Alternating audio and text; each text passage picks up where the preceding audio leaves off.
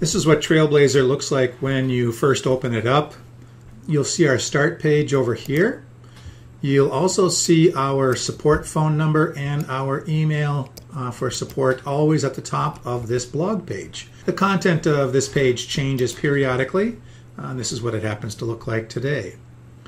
Over here, we have the help menu, which will take us to our knowledge base, our YouTube channel for further videos. In fact, this is where you are right now.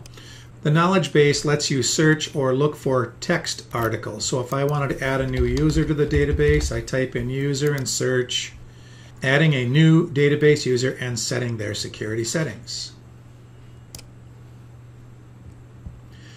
This menu will look different depending upon your security settings. This is uh, for a person who has maximum access, but you may not have as many of these items here as your access may be different.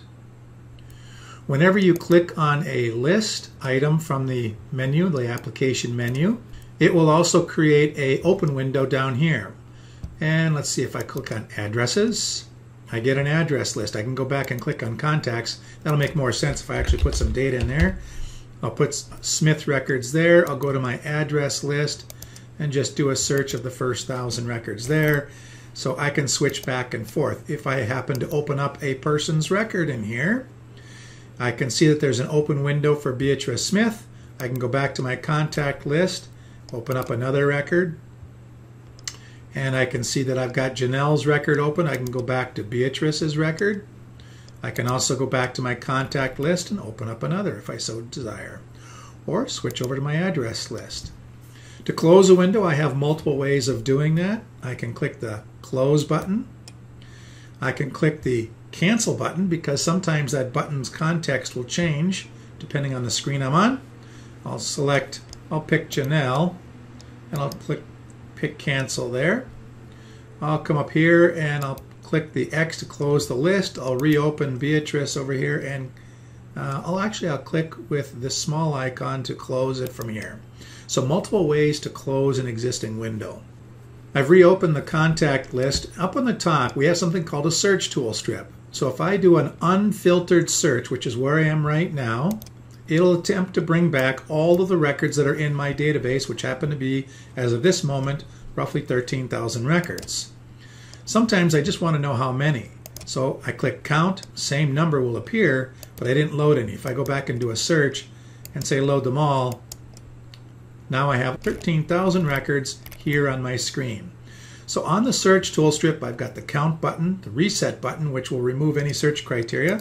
So if I type in Smith once again, I get 215 Smiths.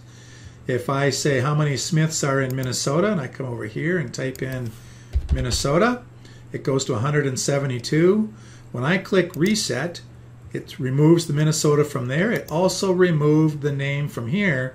So if I go back and do a search, it goes back to my unfiltered search and brings back everybody in my database. So I mentioned already that this is known as the search tool strip.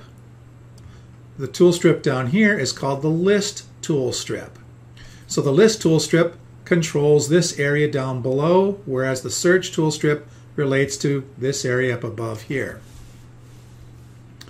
If I want to go in and change columns or if I want to do a word wraps, and that would make more sense if I squeeze this down a little bit and I click word wrap, you'll see that I can now wrap my contents within each cell here. I can do things like rearrange columns. If I want the email column brought over here, I can do a drag and a drop and pull that over, let's say in this case in front of the zip code. I can sort by data. I can click on a column heading, sort descending, sort ascending. So all of them are on the bottom now. I'm now at the bottom of the list as indicated by the elevator over here. I also have a left-right scroll bar to move me across my report. When you're all done with Trailblazer for the day, click the large X in the upper right hand corner, click OK, and the application shuts down.